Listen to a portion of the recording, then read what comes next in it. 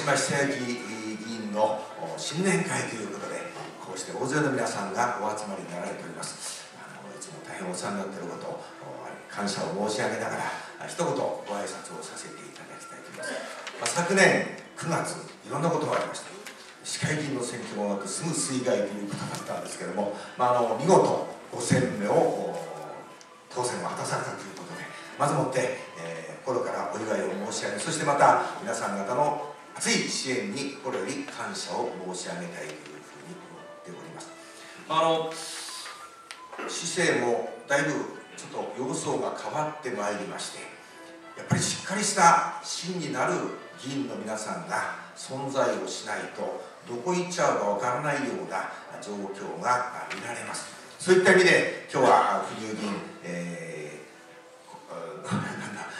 大貫議員すいません忘れちゃった大貫議員そして大島議員とこの3人の方はですね本当にあの市政の、円滑な運営そしてまた品格のある市政の運営ということで大変ご苦労をされながら大きな役割を果たしていただいていることに本当にあのありがたく思っているところであります。まあ、あのともするとだんだんルールがですねどういうルールだったのかということまで分からなくなってしまうような、まあ、やや身勝手な状況が続いておりましてこれ一体鹿沼市議会鹿沼市政どっちの方行っちゃうかなという不安が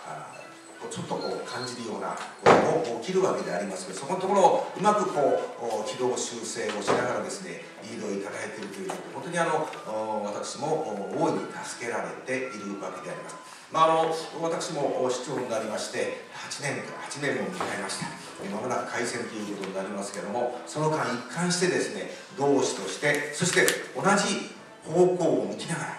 その一つの大きな柱はやっぱり財政の健全な運営というのはこれどこの自治体も皆さんそう思いながら首長さん運営に努めてるわけでありますけどもそういった中にあって、えー、議員のお一人としてですねそのことを十分こう理解をいただきながら行政の役割そして市民の皆さんの役割共同といったその視点に立っていろんな意味で提言をいただきそして、え、リードしていただいている本当にありがたい存在であり、え、ありがたい活動を展開していただいて、え、いろんな意味で私も助けられているということで本当にあの感謝に絶えないわけであります。あの今あちょっとお話にもございましたように5月には市長選挙もございます、まあ、ようやくなんか今日の新聞でですね、まあ、あのレースが始まるのかなというようなことでありますけども、まあ、あのそういった状況をしっかり受け止めながらこれからも大島議員そして今日お二人の国大貫両議員ともですね連携を取らせていただきながらなんとか市民の皆さんの期待に応えるように頑張っていかねばと改めて決意も新たにしているところであります。今日あのいただいたところにおみくじが入っておりました。吉でした。いつも水吉ぐらいなんですけどね。今年は吉でした、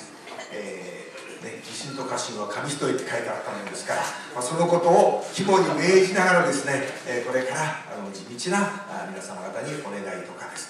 地道な政策を訴えてともども大島議員と協力をしながらですね市政の発展のために精一杯努力をしていきたいと思ってます。どうしても言われちゃうのがですねあの私はもともと民主党の出ですからねそこを言われます。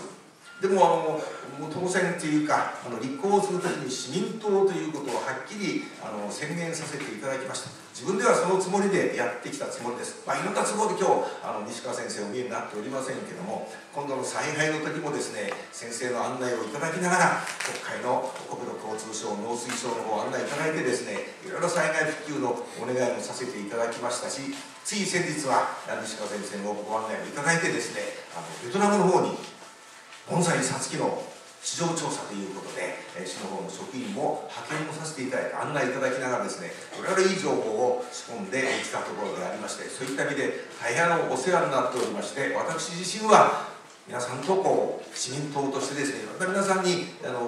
させていただきながらまたご指導いただきながら市政を担っているつもりでありますけども、まあ、そこのところがどうしてもですねあの一言でこう片付けられかねないあのガチだということで私としてはやや不本意なところもあるんでありますけども決してあのそんなこともないということでこれはあの大島議員なんかのいろんなこう指導もいただいてですねいろいろそういった配布も整備していただいておるところでございますので今後ともそのことはしっかり肝に銘じながらですね市政の要は市政の発展のために市民福祉の向上のためにどうすべきかという視点に立って、まあ、精一杯努力をしていきたいというふうに思っております。ともあれ、えー、こうして大勢の皆さんがお集まりをいただいて一緒にこう心身を祝う。そしてまた大島議員への激励の場ということでありますのでどうぞあの今日はですねより皆さん方の絆が深まるようにそして、えーまあ、これからのカルマス制にあたってもですね皆さんの力強いご支援そしてまたご指導の方を賜りますよう心よりお願い申し上げまして極めて簡単でありますけども日頃大変お世話になっていることに